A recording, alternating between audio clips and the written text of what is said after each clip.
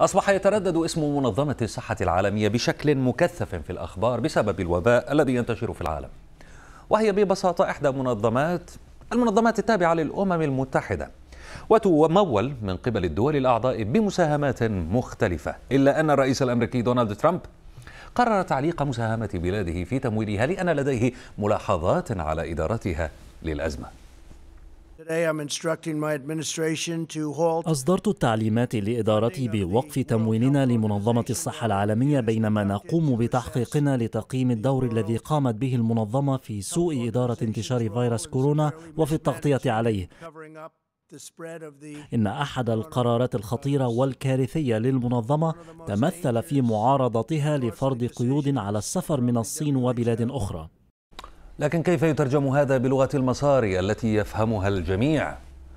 الولايات المتحدة قدمت العام الماضي 400 مليون دولار تمويلا للمنظمة وهذا المبلغ يعادل 15% من ميزانيتها الكاملة لأن أمريكا أكبر ممول فردي لها طيب ما السبب الذي دفع ترامب لاتخاذ إجراءات عقابية ضد هذه المنظمة الأموية أممية وهل للصين علاقة بالموضوع؟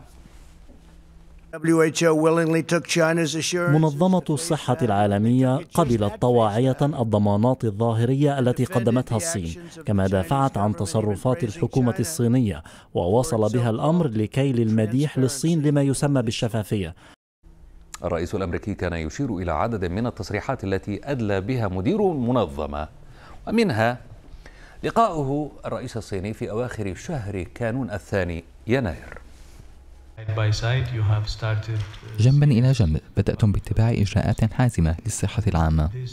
وهذا أمر بالغ الأهمية ونحن فخورون بذلك. الأمر الآخر هو الالتزام السياسي وقيادتكم الشخصية التي كنا نتابعها. وذلك بالإضافة إلى فريقكم الذي سيساعد بوقف الفيروس.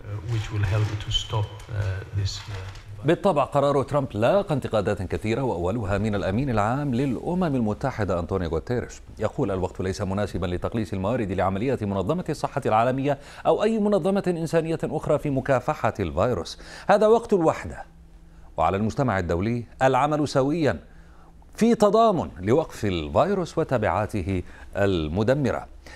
هناك انتقادات أخرى وجهت من بيل جيتس الذي أعلن عزمه إنفاق المليارات من الدولارات لتطوير لقاح ضد الفيروس التاجي. فغرد إن وقف تمويل منظمة الصحة العالمية أثناء أزمة صحية عالمية يعد أمرا خطيرا.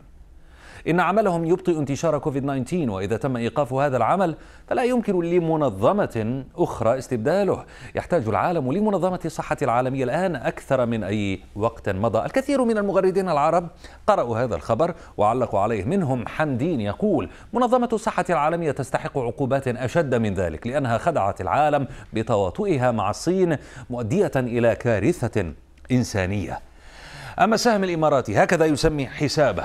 إذا وافق الكونغرس يعني بداية سقوط المنظمات الدولية ومن منها الأمم المتحدة. إيكولايزر وهكذا يسمي حسابه أيضا. يقول إيكولايزر هذه المنظمات وجودها وعدمه سواء بالنسبة للناس العاديين مثلنا. بالنسبة للحكومات توفير في الميزانية لأن منظمة الصحة العالمية ما عندها كوادر لتطوير لقاحات للأمراض ولا تفعل شيئا للحرب الجرثومية والفيروسات. بالنسبة لآخر تغريدة نتوقف عندها من غيث. يقول لك قرار فاشل أنك تعلق تمويل منظمة الصحة العالمية وإن دل على فشل في إدارة الأزمة في أمريكا والتخبط الإداري لترامب.